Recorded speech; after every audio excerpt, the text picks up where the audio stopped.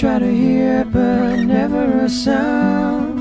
Always someone you can't rely on. I've been blinded, I always by a million smiles. Nous sommes heureux de pouvoir compter sur votre soutien renouvelé, ainsi que sur celui de Monsieur l'ambassadeur, M. Sassak, l'ambassadeur du Liban en France, et celui de Jean-Christophe Romantin, notre député maire, mais aussi euh, vice-président du groupe d'amitié France-Liban de l'Assemblée nationale française. Le premier message, c'est pour remercier l'association qui euh, œuvre, euh, et je remercie euh, Carlos, mais tous ceux qui œuvrent autour de lui euh, avec beaucoup de persévérance, de conviction et de passion. Les thèmes qu'il nous propose cette année, comme euh, l'année dernière, en sont le témoin.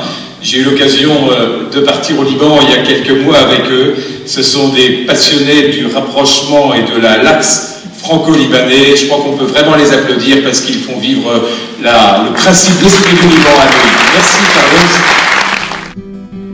I've seen a million faces. Alors au Liban, la légende veut que euh, Noé se soit échoué euh, dans la Mecca. Ben oui, lui aussi. À Zahle, plus exactement. Et qu'il y ait planté sa première vigne.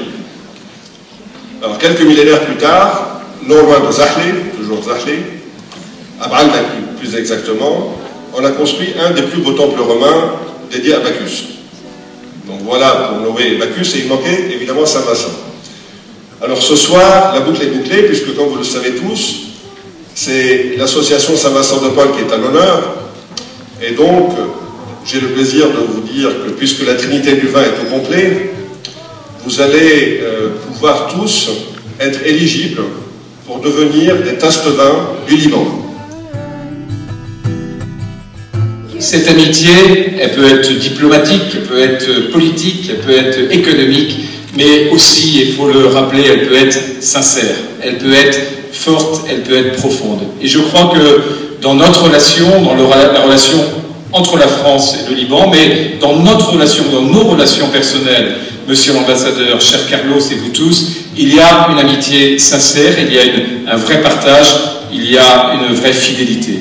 Et je crois qu'aujourd'hui, dans un monde qui euh, malheureusement se déchire, se tend, se distend, euh, a du mal à se comprendre, rappeler que nos civilisations doivent aller vers ce principe d'amitié, aller vers ce principe de partage, aller vers ce principe de compréhension mutuelle est véritablement une obligation, un devoir qu'on doit tous avoir. Donc dans ce mot amitié, derrière cette amitié, euh, je veux rappeler, on doit rappeler que l'amitié franco-libanaise est une amitié forte et si Neuilly peut être une petite euh, étincelle, une petite lumière dans cette amitié entre la France et le Liban, c'est formidable et c'est grâce à vous. Alors, votre parcours initiatique? Consistera dans un premier temps à boire les paroles de nos intervenants avant d'aller déguster avec euh, modération les bons crus que tous nos vignerons nous ont sélectionnés ce soir. Mais un vin qui, a, qui mérite d'être euh, connu, reconnu, ouvert. Euh, J'avais eu l'occasion il, y a quelques, il y a deux ans de retour de Balbec de, de m'arrêter visiter des vignobles et, et des caves et j'avais été surpris de, ce travail en profondeur pour donner au, au vin libanais, alors peut-être pas le même standard, encore, entre guillemets, que les vins français, mais en tous les cas les amener vers l'excellence à la lumière de ce qu'est le Liban et de ce que sont les Libanais. Voilà, je suis très heureux de passer ce moment avec vous. Autour d'une table ronde, Muriel Roselier, qui est journaliste et auteur du premier guide des vins du Liban, Monsieur André Hajitouma, qui est un éminent spécialiste des vins de la région et de leur histoire, Najwa Shaddad, qui est directrice export de Château Xara, Naji Ali, qui est directeur export du domaine Exir, Nassib Chedid, qui est avocat d'affaires et copropriétaire des coteaux de Botrice, Émile Majdalan est directeur commercial de Château Kefraya, et Marc Rochard, dirigeant de Château Musard. En 2000, disons, euh, il y avait cinq caves au Liban, euh, dont certains représentants ici, les représentants historiques euh, des vins du Liban, Kefraya, Xara, Musa, parmi les plus connus. Aujourd'hui, c'est une quarantaine. Il y a un saut extraordinaire, une renaissance extraordinaire qui fait que le vignoble libanais est en plein bouleversement.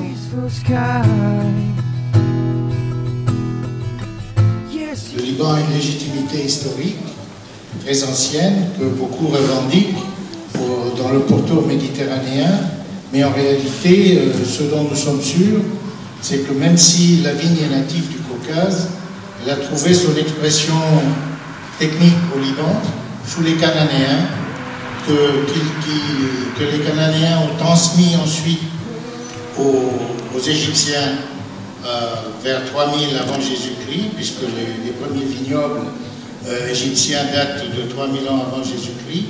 Les Égyptiens ont codifié, euh, grâce aux énologues, entre guillemets, cananéens, ont codifié la, vinification qui sont transmis aux Grecs, euh, ensuite aux Romains, et s'est étendu à travers le monde. Il ne s'agit pas d'un vin du Nouveau Monde, mais de la renaissance d'un vin dans un monde ancien. En effet, les jésuites se sont installés dans, le village de Xara en 1857 euh, et les autorités ottomanes leur ont accordé des immenses domaines agricoles. À l'époque, tous les domaines étaient stériles et c'est de l'Algérie et de la France qui ont importé les premiers cépages. Ils ont euh, commencé à produire les vins de Metz et après, avec le mandat français et la demande des soldats français pour des vins à boire, ben, ceci a poussé les pères jésuites à produire des vins rouges et blancs pour la consommation.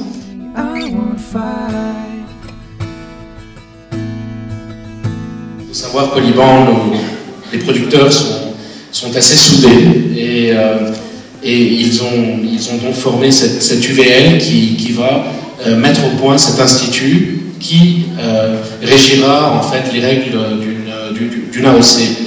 Donc pour le moment, en dépit de l'inexistence de, cet institut, euh, le terroir et la spécificité du, terroir et sa qualité est déjà reconnue à l'international, ne serait-ce que par le, rôle d'ambassadeur que jouent les, producteurs euh, dans le monde. Euh, Michel de Bustos s'est imposé ses règles et il a compris que la qualité au Liban, en fait, n'est pas un choix, mais une obligation.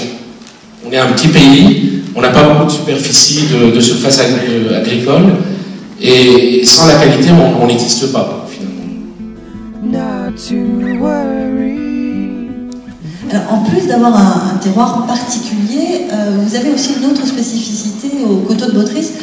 Vous n'êtes pas les seuls au Liban, mais vous faites des monocépages. Oui. Alors ça, c'est quoi? C'est une mode venue des États-Unis, 100% Syrah, 100% Cabernet? Oui, nous, nous, sommes pas les seuls. Enfin, il y a plusieurs, plusieurs autres vins qui qui font ça aussi. Nous avons voulu, nous avons voulu euh, euh, donner plus de chance peut-être aux, aux, cépages qui ont très bien réussi dans la région. Et pourquoi pas finalement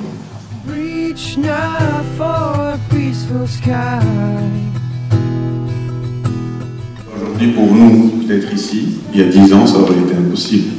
Donc, euh, il faut plutôt arrêter de se poser des questions, plus se prendre les atouts que l'on a, tous ensemble, euh, et, d'exporter ceci au monde comme on est en train de le faire, comme l'année passée on l'a fait, euh, fait en Angleterre, avec euh, la campagne générique Wines of Lebanon, et comme on va le faire maintenant prochainement pour l'Allemagne. Les Anglais ne, produisent pas de vin, donc étaient les premiers typiquement à goûter des choses nouvelles. Ce sont, les Anglais qui ont découvert sherry, euh, euh, tous les, vins fortifiés du Portugal. C'était les plus grands importateurs de Bordeaux à l'époque aussi. Et donc, euh, c'est eux qui ont aussi découvert l'Australie, le Chili. Et donc, pour nous, c'était une façon d'arriver sur un marché qui était le plus à même d'accepter des vins qui soient différents. Et donc, c'est en 79 que, notre vraiment première dégustation s'est faite dans une foire à Bristol et où Michael Broadbent à l'époque était l'éditeur du Decanter Magazine a goûté nos vins et a fait un grand article et ça a permis effectivement de lancer les, vins du, enfin, les vins de Musard, en tout cas en Angleterre.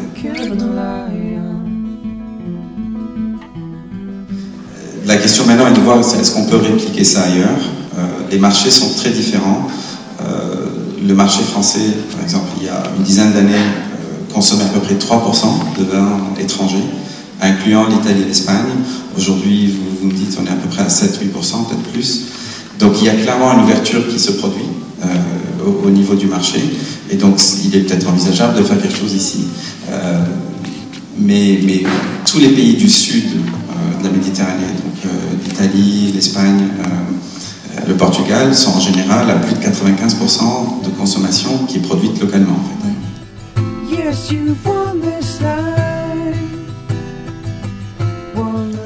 Nous avons des terroirs qui sont des terroirs d'exception et tous les pédologues le, reconnaissent. Euh, donc nous pouvons être reconnus mondialement euh, et en matière à communiquer. Ensuite, il faut, il faut des prescripteurs.